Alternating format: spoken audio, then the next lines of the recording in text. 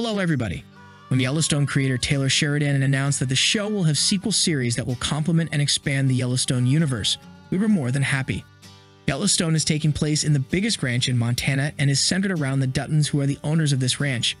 The series is filled with complicated characters, creative scenarios, and amazing cinematography. Even though all of these components make the show the masterpiece that it is, we believe its characters are the ones that make Yellowstone very unique. These characters are often praised for their complicated personalities as their distinct motives and unforeseeable choices make them human to their core. However, they are also pretty difficult to understand and even relate to at times. Why? Well, because they are having a lot of bold turns in life that many of us wouldn't take no matter what. Therefore, we often find ourselves questioning why the Duttons are like this and what kind of family legacy that they carry. This is why the announcement of 1883 was the thing that we needed the most as the Yellowstone fans, as it heralded the beginning of a major family saga. 1883 is focusing on the early Duttons in the 19th century, taking the story even before the family has moved to Montana. Naturally, the show has a completely different setting than Yellowstone. And yet, it also has a lot of similar qualities, especially as far as the quality of the characters is concerned. All the Duttons in 1883 are very similar to the ones in Yellowstone, proving that these individuals are related and even if there is a 200 year gap between them, they still share some basic qualities.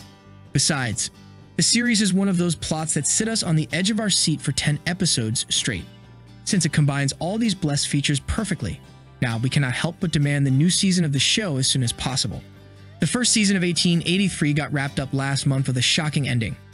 It impressed us all by taking one of the boldest choices that a show can take killing a protagonist. To be fair, 1883 has multiple protagonists. We can easily claim that all Duttons are protagonists of the series, as well as prominent characters such as Shea and even Thomas. Still, Elsa was a very distinct one even among the protagonists as she was the narrator of the show and was the one that has gone through the most character development. In the beginning, Elsa was just another ordinary girl with an ordinary life. However, her ambitions were larger than her surroundings and her curiosity was gripping her soul. Naturally, when she found herself on an adventurous journey from Tennessee to the northern US, she turned this into an advantage for herself by trying to get to know herself, her desires, and her ambitions. First of all, she started to hang out with the men of the group by taking a part in the cattle drive.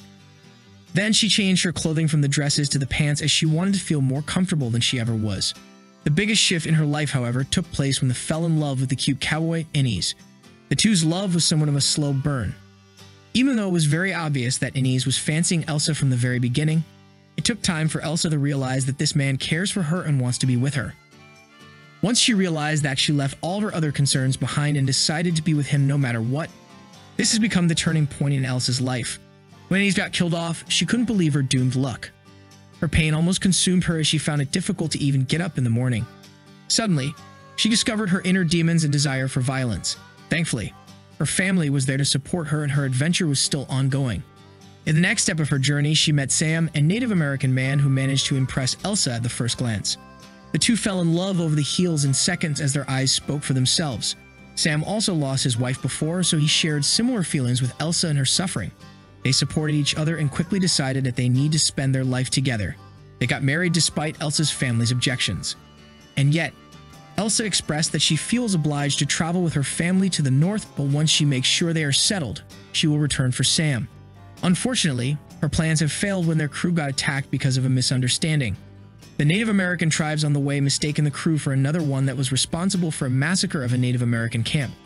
Therefore, when they were attacking, they didn't care whether they were women or children. Instead, they massacred them all and injured Elsa deadly.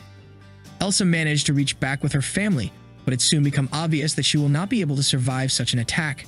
Thus, in the end, we witnessed Elsa losing her life in the mountains of Montana as her family made sure that they will be there with her at all times by settling on the same ground.